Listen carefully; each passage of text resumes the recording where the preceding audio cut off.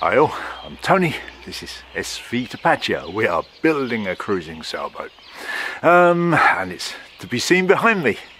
We're some five and a half years or so into the build now.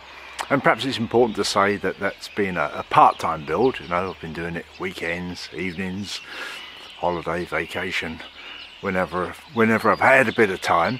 Um, and one sort of big announcement is that, that that will be changing very soon and I should have a bit more time to put into the boat to, get her finished and of course to go sailing in her. Um, so looking forward to that, that's for sure. And well, perhaps you can't tell by the weather today, but but spring is springing. You know, the birds, you probably hear them, they're going pretty pretty crazy out there. They're full of the joys of it. And, uh, you know, flowers coming up, things are starting to look distinctly more spring-like. And we started off this week Kerry and I both doing our bit to encourage spring to come.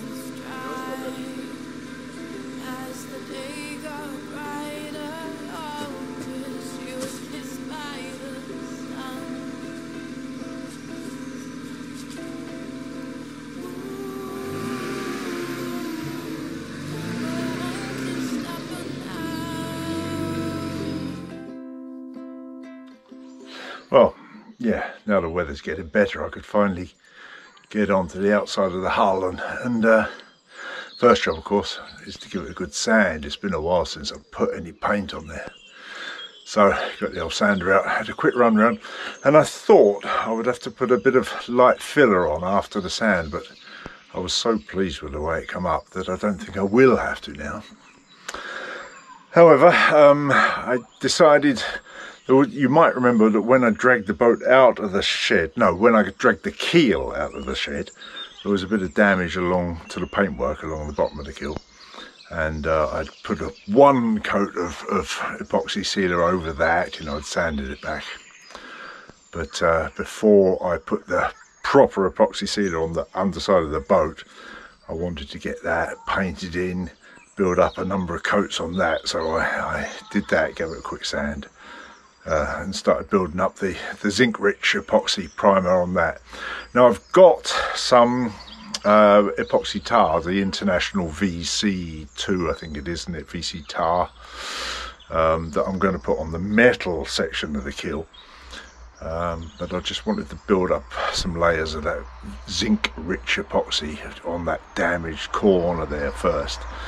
Uh, so that's now done and I'm ready to go with the with the coal tar epoxy the you know that international stuff I just said. So that's that and that's come out well. We're ready to go now on that front.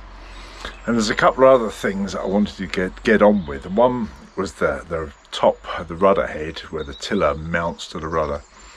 I'd done some work on that a while back and uh, left it with a plastic bag over it to keep the weather out and now I decided it was good enough that we could get back onto that and, and start that. And there's a couple of things I wanted to do. Firstly was where the, the pin goes through the tiller that connects the tiller to the rudder. I wanted to drill and fill and drill that, which I did. Uh, but also I wanted to put a stop underneath the tiller so it didn't drop down too far. And I'll just turn this camera around and show you what I've done there. And there it is, that it's a tube with a bolt through it. You can see the bolt goes all the way through. A 10 millimeter bolt with a 12 millimeter stainless tube on it so that the tiller drops down and that stops its maximum downward movement. Uh, and also that bolt serves to stop any twist in the top end of the of the rudder there at the rudder, rudder mounting area. So that is now all done. Um, and we're ready to get some paint on there it should be a lovely thing just dangle that over the side like that and let you look at that. Coming on well. Ready for paint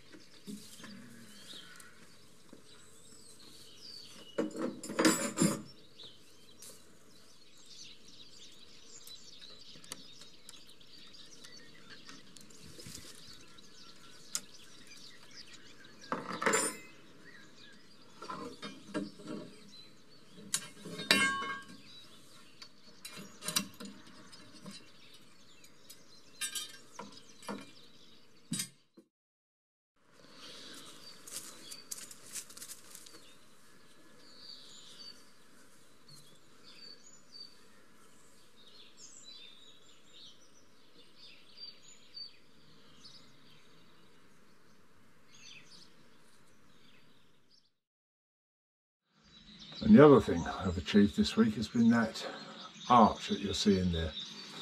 Um, and well, the arch I made in previous weeks, but the mounting, and let me zoom in a bit.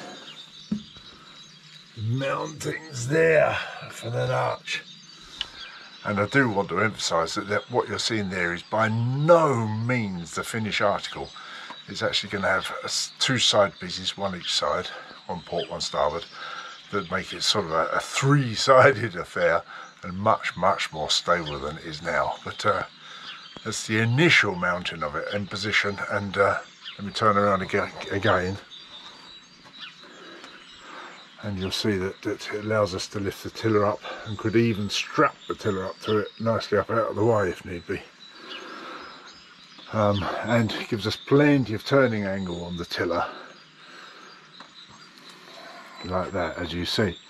Now the purpose of this arch or the main purpose of this arch is that there's going to be a, a short traveller on the top of it that the sheet from the main sail attaches to. So that's where the control line from the mainsail will come down. Um, and that allows us to clear the bimini. It's a good height so it clears the bimini. And should all work very nicely. As I say still a fair bit of work to do to that yet it will be a three-sided affair so please it will know that it will be a lot more stable than it now appears. There we go, anyhow.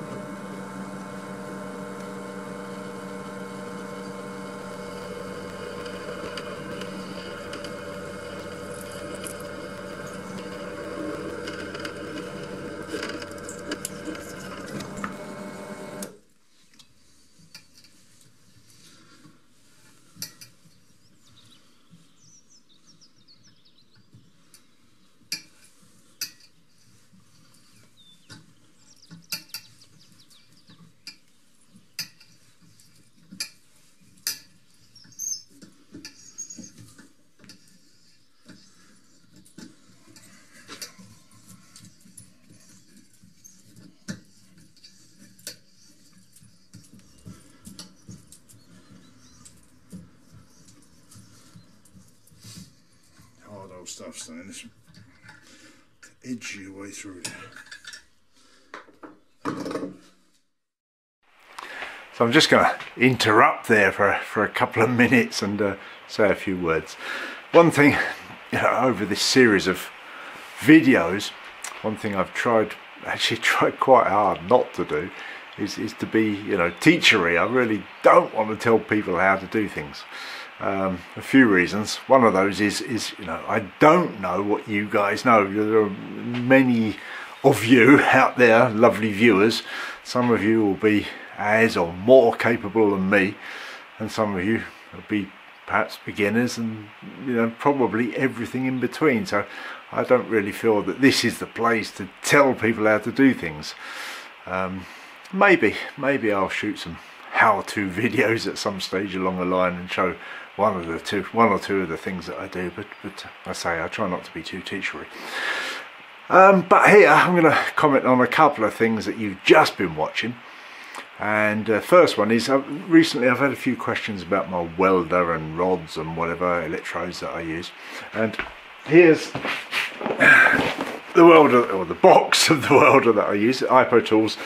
It's a portable but I think it's it's essential its essential quality is that it's an inverter welder. That's the important thing. It's an inverter welder. Because I had a standard welder before that uh, which I used at the early stages of the build. And the weld I'm getting with this little IPO Tools inverter welder is far better much much better. And they're so easy to use. It was somebody gave me the tip you know in the comments and I, I went out and got one. They're cheap relatively brilliant absolutely brilliant so that's the welder I'm using it's a 160 amp inverter DC welding machine MMA. The rods that I use, normally I use these, they're Hyundai stainless rods. Um, they don't necessarily come in that box, I was fortunate to get one of those. But uh, they're very good. However, I don't think the rods are the critical thing. Sometimes, if I if I haven't got any, I just go to the local DIY shop and buy these GYS stainless rods, and there's not much difference, if, if any. I think the inverter welder is the critical thing. Um, and I'm still, you know, learning how to you set in the ampage, you know, improving what I do. And I believe, you know, it's going really well. It's, I'm getting good welds. The issue with stick welding stainless is the heat, or steel generally is the heat and the distortion you get from it. That's something you have to watch for. With tubing pipe it's not a problem but with flat material you get significant distortion from the heat. You have to look out for that or clamp it in position or find ways to, to, to fight that. And that's the welder. The second thing I wanted to talk about was, was the threading, cutting threads in stainless.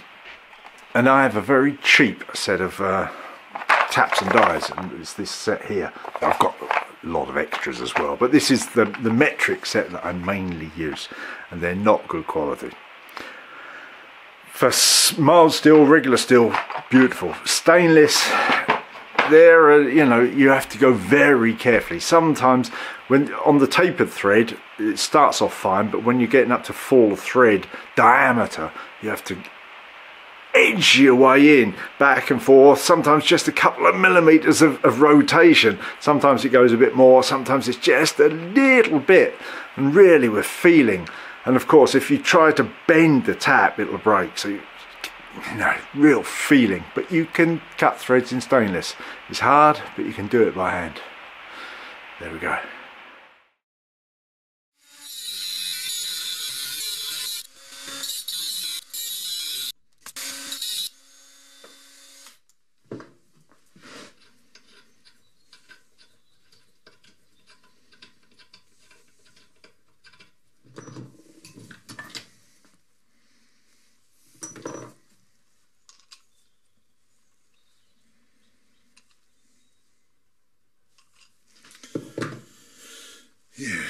Good.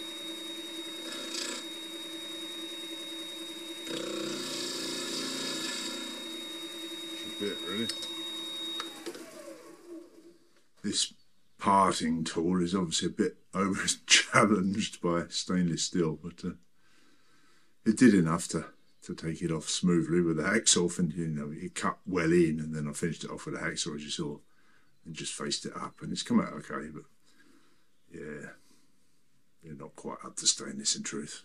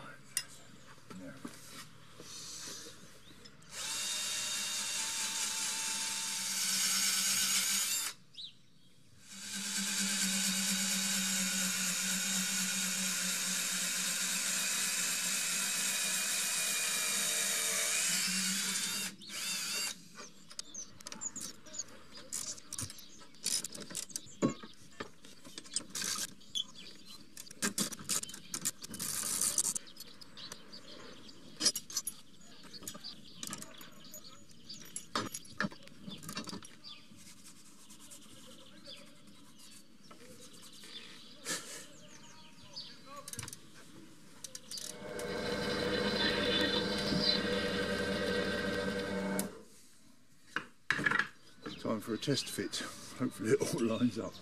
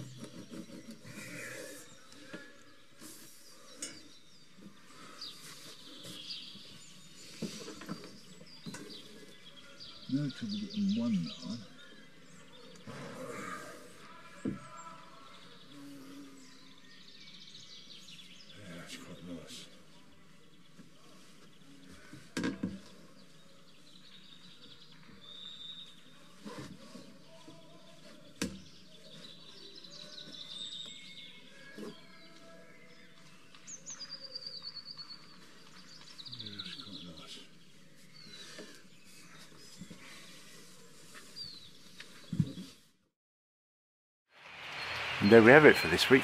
I'm here tucked under the balcony. The rain seems to have set in for the day. Um, yeah, but I say, thank you for watching. A massive thank you to the lovely, lovely people who support us on Patreon, via PayPal. You guys rock. I'm going to take a break next week. I'm off to Scotland for the week, uh, visit Hazel and uh, Alania Wally out in the Outer Hebrides. Go and see what's going on over there. And then we'll be back and, and as I mentioned earlier, pushing on. Try and get this thing finished, try and get it in the water. I still have no news from the trucking company. I don't know what's going on there. It's, I'm flabbergasted. Nothing. But there we go. I dare say we'll get there. Keep at it. See you next time. Bye.